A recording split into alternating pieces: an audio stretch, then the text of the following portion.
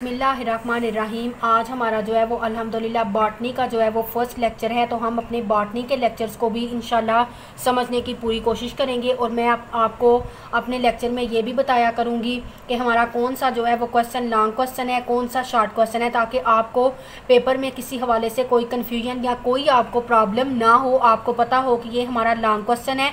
और ये हमारा शॉर्ट क्वेश्चन है, यानी ये पेपर में हमें लॉन्ग क्वेश्चन के हवाले से आ सकता है, ये शॉर्ट क्वेश्चन के हवाले से और ये हमें इंपॉर्टेंट एमसीक्यू आ सकते हैं। इनशाला हम हर टॉपिक को बहुत इजी वे के साथ समझने की कोशिश करेंगे इंटरेस्टिंग वे में लेकर चलेंगे तो बॉटनी आपके लिए टफ सब्जेक्ट नहीं होगा।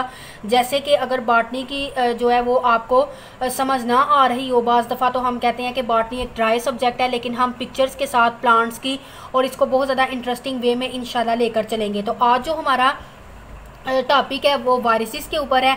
इसके अलावा मैं आपको बताती चलूँ कि मेरा डिस्क्रिप्शन में मेरा व्हाट्सएप नंबर दिया होता है। अगर किसी को कोई कन्फ्यूज़न होती है या किसी का कोई क्वेश्चन होता है तो वो मेरे व्हाट्सएप ग्रुप को ज्वाइन कर सकता है। उधर हम स्टडी के रिलेटेड आपका जो भी क्वेश्चन हो, जो भी आपको कन्फ्यूज़न हो, उसके बारे में हम डिस्कशन करके इन उस प्रॉब्लम को सॉल्व करने की पूरी कोशिश करेंगे। तो हम देखते हैं जो आज का हमारा जो है वो फ़र्स्ट हमारा आज का लेक्चर है, जो हमारा फ़र्स्ट आज टॉपिक है, वो हमारा क्या है? द वायरसिस तो वायरसिस क्या है? वायरसिस को हम डिफाइन करते हैं non cellular infectious entities which contain RNA और डीएनए ये नॉन सेलुलर इन्फेक्शियस एंटिटीज़ होती हैं जो कि किसी भी ऑर्गेनिज्म की बॉडी के अंदर इन्फेक्शन को काज करती हैं और इनके अंदर आरएनए और डीएनए होता है। ये नॉन सेलुलर होती हैं।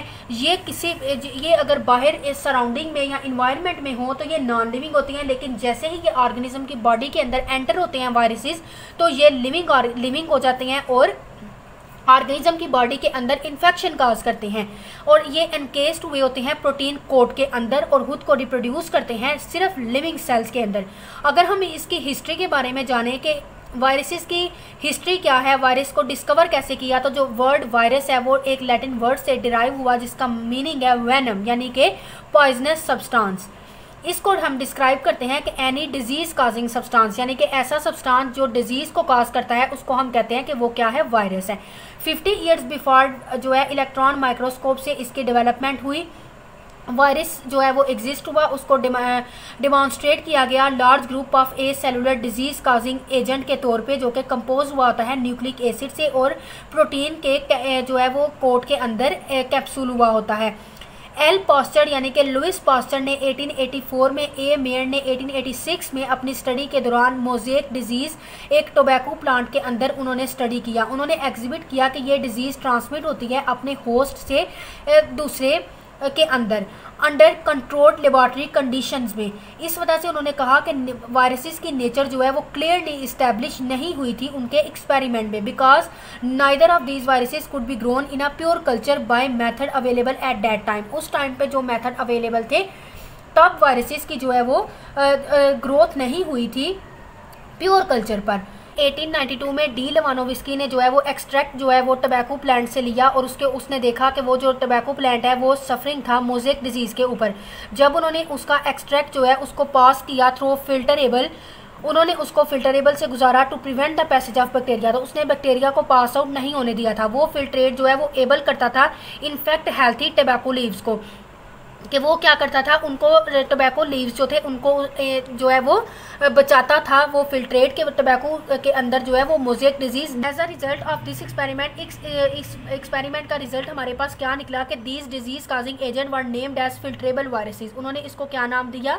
फिल्ट्रेबल वायरसेस का। इन 1892 में एम बेजर्निक ने इस्टेब्लिश किए कुछ वायरसेस उनके उसने रेप्लिकेशन का मेथड देखा कि वो तमाम लिविंग थिंग्स की तरह कॉमन है। इसी तरह से उसने अपनी फर्दर जो है वो इस्टेब्लिशमेंट की डिज़ीज़ काजिंग फिल्ट्रेबल वायरसेस के ऊपर के किस तरह वो होस्ट सेल में मल्टीप्लाई करते हैं। लेटर एफ़ टी वर्ड और एफ़ डी हेलेने ने भी इंडिपेंडेंटली जो है डिस्कवर किए सम वायरसेस जो कि इन्फेक्ट करते थे बैक्टीरिया को, और उन्होंने उस टाइम पे उन्होंने उन वायरसेस को बैक्टीरियोफेजिस कहा जो कि ईटर ऑफ़ बैक्टीरिया हैं, जो बैक्टीरिया को खा जाते हैं और सिंपली फेजिस का उन्होंने उनको नेम दिया। उनके डिस्कवरी की इस्टेब्लिशमेंट से वायरसेस जो है, वो उन्होंने कहा कि वो इन्फेक्ट करते हैं और डिज़ीज़ को काज करते हैं।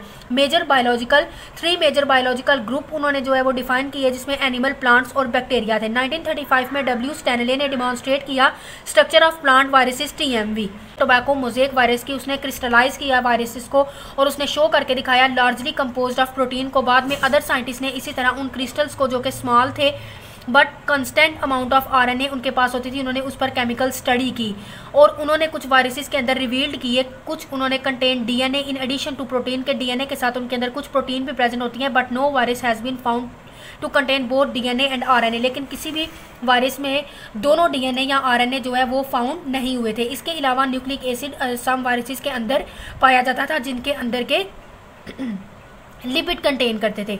Some contain small amount of carbohydrates conjugated to their protein components कुछ के अंदर जो है वो कार्बोहाइड्रेट्स पाए जाते थे जो कि कंजुगेटेड होते थे कुछ प्रोटीन कंपोनेंट के साथ। Largest and most complex viruses हमारे पास क्या है?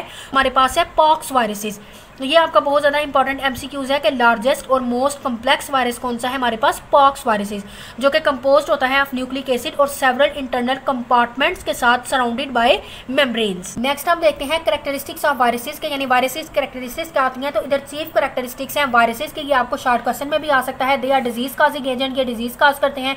स्मॉल होते हैं, इस वजह से इनविजिबल होते हैं। In the light microscope and able to pass through filter that retain most of the bacteria. They do not multiply in culture designed to the support growth of bacteria. They are non-living outside in the host cell. Host cell के बाहर ये क्या होते हैं non living होते हैं compose हुए होती हैं न्यूक्लिक एसिड डीएनए और आरएनए से और उनका कोर जो है सराउंडेड हुआ होता है प्रोटेक्टेड प्रोटीन के साथ जिसको हम कहते हैं कोट कॉल्ड कैप्सिड डीएनए और RNA functions as a viral genome DNA और आरएनए जो है वो फ़ंक्शन करते हैं as a viral genome those contain RNA contain an unusual biological property of having genetic information permanently encoded in RNA उनके अंदर जो जेनेटिक इन्फॉर्मेशन होती है, वो परमानेंटली एनकोड हुई होती है उनके आरएनए के अंदर। नेक्स्ट हमारे पास आते हैं types of viruses generally viruses जो है, उनको डिवाइड किया गया है फॉलोइंग टाइप्स में। फ़र्स्ट ऑफ़ ऑल आते हैं animal viruses they cause disease in a man and other animal ये डिज़ीज़ कॉज करते हैं मैन के अंदर और अदर एनिमल्स के अंदर। ये usually consist of DNA coat protected by capsid ये यूजली डीएनए के पर कंसिस्ट करते हैं और प्रोटेक्ट हुए होते हैं by capsid plant viruses plant के जो वायरसेस होते हैं, ये डिज़ीज़ कॉज करते हैं प्लांट के अंदर। प्लांट वायरसेस के अंदर कंसिस्ट करते हैं R N A core surrounded by protective protein coat होता है इनके अंदर भी।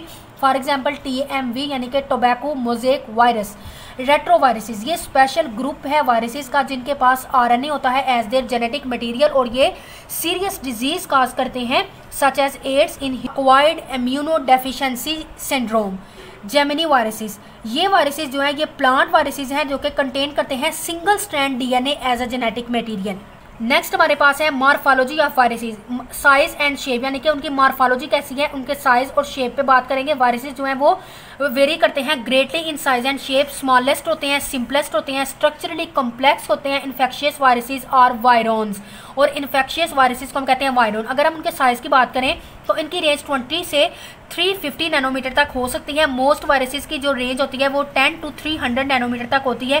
Poliomyelitis yellow fever and foot and mouth disease causing viruses are smaller in size होते हैं। इनका डायमीटर 25 नैनोमीटर तक होता है। जबकि जो स्मॉल पॉक्स वायरसेस है, वो लार्जर होता है 250 नैनोमीटर डायमीटर का हो सकता है। इसी तरह से मोस्ट वायरस जो है, वो मैयर लेस देन 150 नैनोमीटर तक उनकी मैयरमेंट होती है।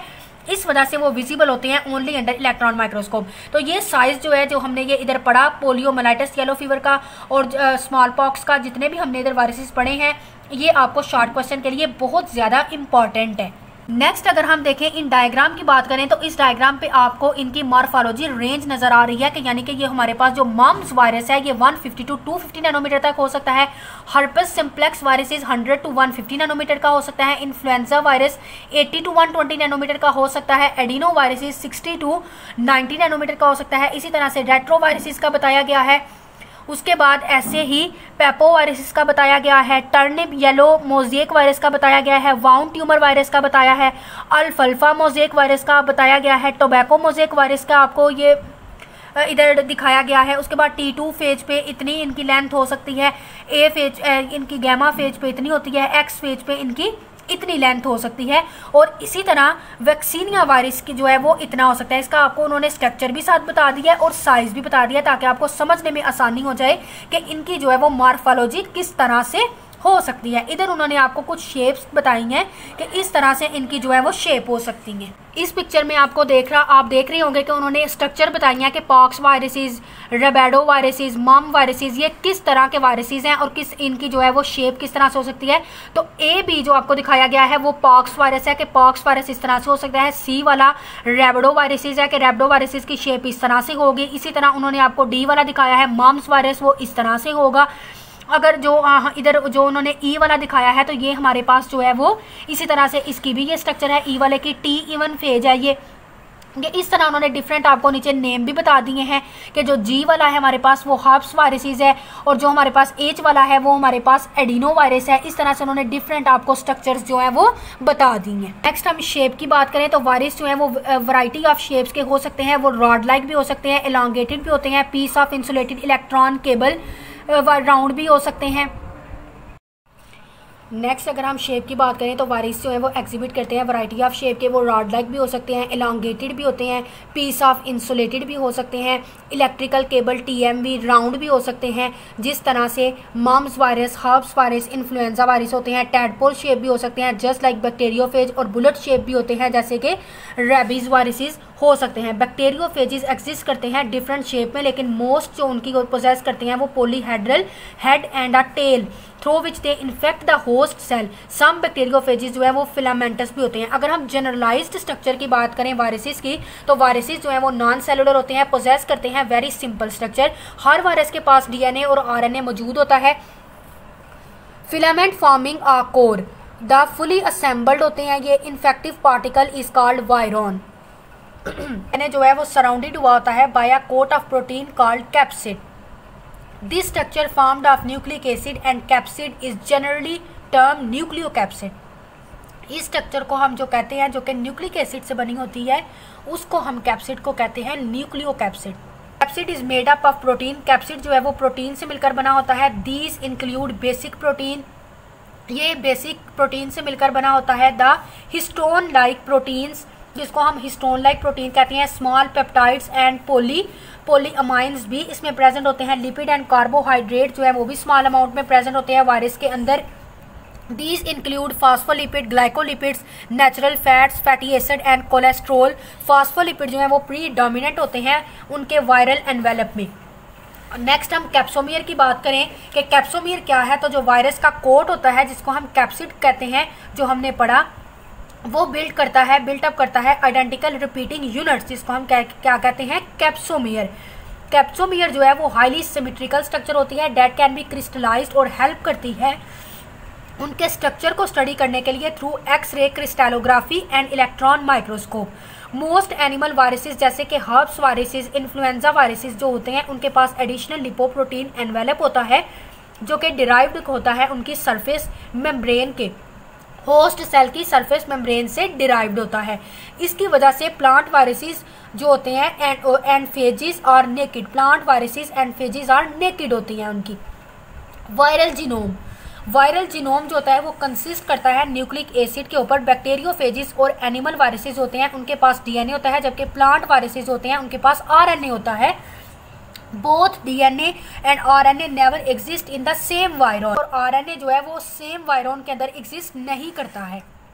वायरॉन जो होते हैं contain only a single copy of nucleic acid called haploid retroviruses are contain two identical RNA single strand so they terms diploid तो आज का ये हमारा लेक्चर जो है, ये वायरसेस के ऊपर था। वायरसेस का आज का हमारा जो लेक्चर है, ये बहुत ज़्यादा इंपॉर्टेंट है। लॉन्ग क्वेश्चन के हवाले से भी। आपको हिस्ट्री आ सकती है शेप आ सकती है। इसके अलावा शॉर्ट क्वेश्चन के हवाले से भी ये बहुत ज़्यादा इंपॉर्टेंट है। तो आप आज के मेरे इस लेक्चर को देखें। अगर किसी को कोई कन्फ्यूज़न है या किसी का कोई क्वेश्चन है तो वो मुझे कमेंट सेक्शन में मैसेज कर सकता है।